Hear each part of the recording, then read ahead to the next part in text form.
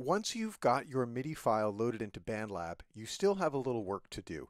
Now, your MIDI file is going to look a lot different from my MIDI file unless we've downloaded the same MIDI file. But they're going to have the, some things in common that I want you to look at. So when I hit play, I'm going to hear that there are several parts that are doubling. What I mean by that is that they will have the same part. Let's have a listen.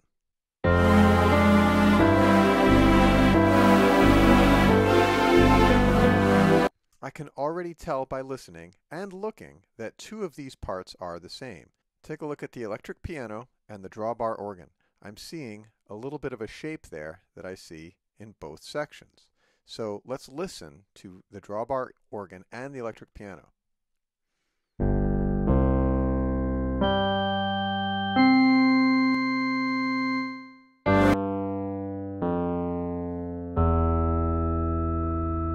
Those parts are both playing bass parts. So I am going to label those as bass parts. And you should too in your example. Now, as you listen, you're going to hear that there's melody and chords also throughout your project. And I want you to find all of those parts and label them. So let's see what this vibraphone part is doing. It's, it's not playing just yet. But I'm going to move up there and see what it's doing. I'm just going to solo it and, and listen to it.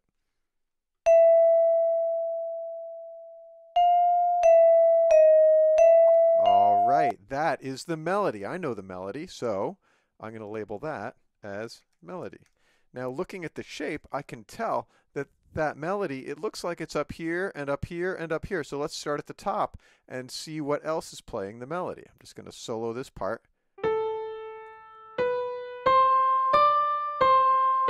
These are both melody parts. So it's important that you go through it's important that you go through your project and find all these melody parts. So I'm seeing in here that there's a melody part too. Let's just solo that. But it looks like there's two parts in there. Now you'll remember in our last project we made a little harmony that's kind of like having chords.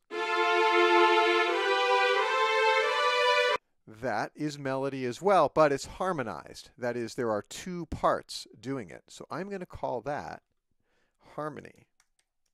And you should too.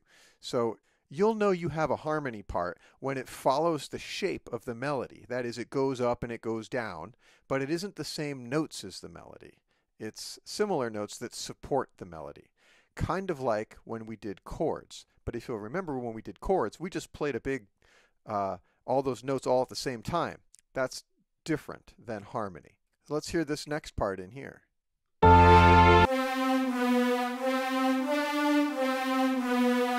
That is an that's a perfect example of harmony right there. Let me play this harmony part along with this melody part. You're going to hear that this melody part up top is the familiar White Christmas melody. And this synth strings 2 down here is going to follow the same shape, but it's not going to be the same notes but they are going to match. That's harmony.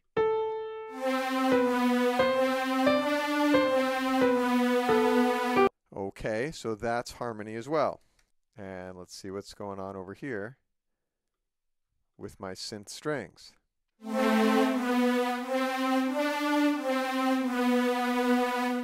That is also harmony. So I'm going to call this harmony 3. Checking out the next part.